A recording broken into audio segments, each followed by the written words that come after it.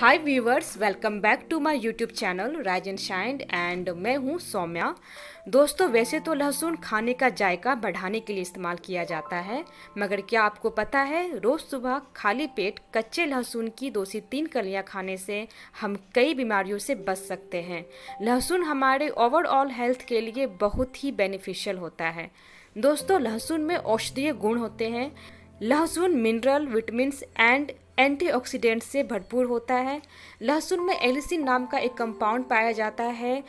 ये anti fungal anti bacterial and anti oxidant के रूप में काम करता है।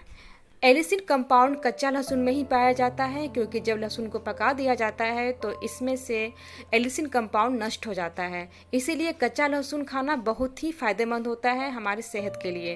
तो दोस्तों, आज मैं आपको अपने वीडियो में लहसुन खाने के फ़ायदे बताऊँगी। साथ ही इससे किन लोगों को नहीं खाना चाहिए और इसे खाने का सही तरीका क्या है, ये भी बताऊँगी। वीडियो को शुरू से अंत तक ज़रूर देखिएगा, स्किप मत कीजिएगा। और वीडियो अगर आपको अच्छा लगे तो लाइक एंड शेयर ज़रूर कीजिएगा। और अगर आपने अभी तक मेरे चैनल को सब्सक्राइब नहीं किया है तो सब्सक्राइब कीजिए मेरे चैनल को एंड प्रेस कीजिए बेल बटन में ऑल नोटिफिकेशन को ऑन ज़रूर कर लीजिएगा, ताकि आपको मेरी हर न्यू वीडियो के अपडेट्स मिलते रहें। तो चलिए दोस्तों, वीडियो को आगे बढ़ाते हैं। डाइजेस्टिव सिस्टम को दुरुस्त करने के लिए लहसुन का सेवन करना बहुत ही फ़ायदेमंद होता है। लहसुन में मिनरल्स एंड विटामिन होते हैं, जो kidney, bladder and liver health को इम्प्रूव करता है।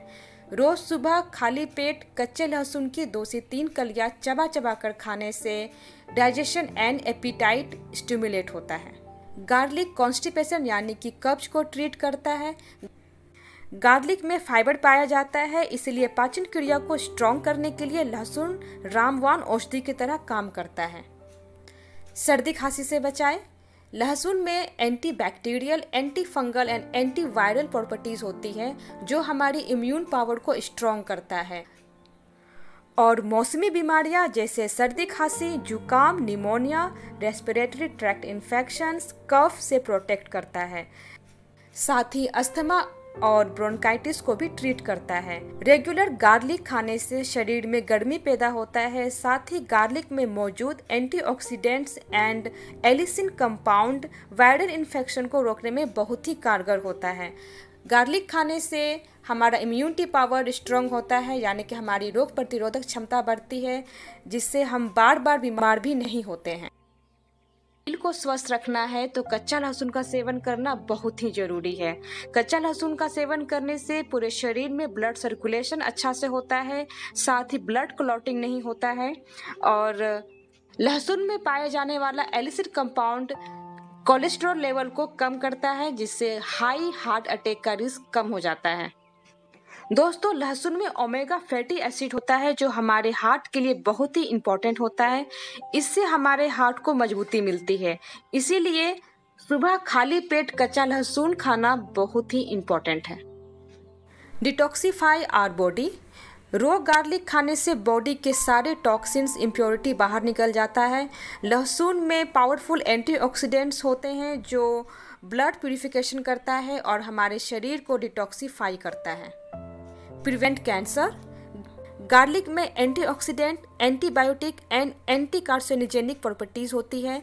लहसुन फ्री रेडिकल्स की संख्या को तेज़ी से कम करता है। दोस्तों ये फ्री रेडिकल्स ही कैंसर होने का मेन फैक्टर होता है। लहसुन कई तरह के कैंसर को बनने से रोकता है।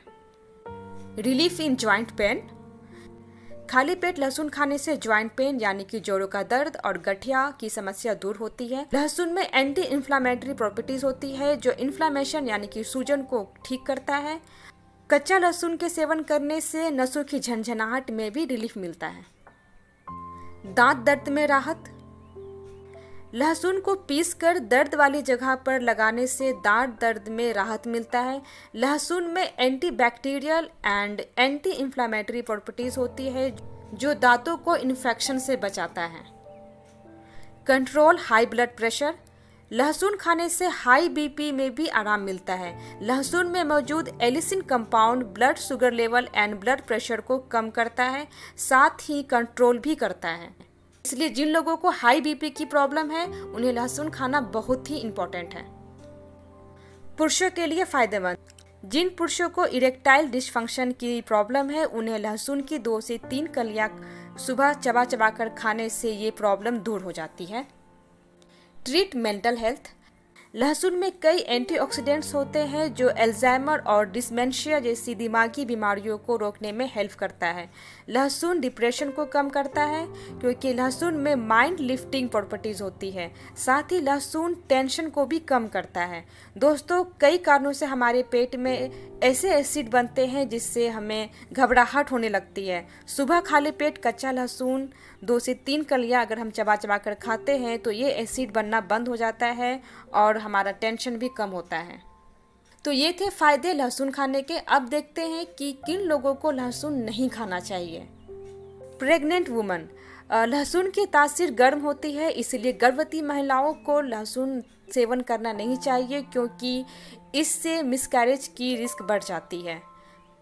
अगर किसी व्यक्ति की सर्जरी हुई है या सर्जरी होने वाली है, उन लोगों को भी कच्चा लहसुन का सेवन करना नहीं चाहिए क्योंकि इससे इंटरनल ब्लीडिंग का खतरा बढ़ जाता है। जिन लोगों को लो ब्लड प्रेशर की शिकायत है, उन्हें भी कच्चा लहसुन का सेवन नहीं करना चाहिए क्योंकि लहसुन ब्लड प्रेशर को कम करता है और जिनको पहले से लो ब्लड प्रेशर की शिकायत है, उन्हें हार्म हो सकता है, इसलिए उनको नहीं खाना चाहिए। अब बात करते हैं कि लहसुन का सेवन करना कैसे है। कच्चे लहसुन की दो से तीन कलियों को आप गुनगुने पानी के साथ सेवन कर सकते हैं। आ, कुछ लोगों को कच्चे लहसुन का आ, जो गंध होता है वो बर्दाश्त नहीं होता है। लहसुन को थोड़ा भून ले और उसके बाद उसे पानी के साथ सेवन कर सकते हैं या फिर लहसुन का चटनी बना के भी आप सेवन कर सकते हैं। तो ये है फ़ायदे लहसुन खाने के। आशा करती हूँ कि आप लहसुन खाने के सारे बेनिफिट समझ चुके हैं। और आप भी अपने डेली रूटीन में लहसुन खाना शामिल करेंगे। This is the end of the video take care of yourself मिलती हूँ नए वीडियो के साथ. टाटा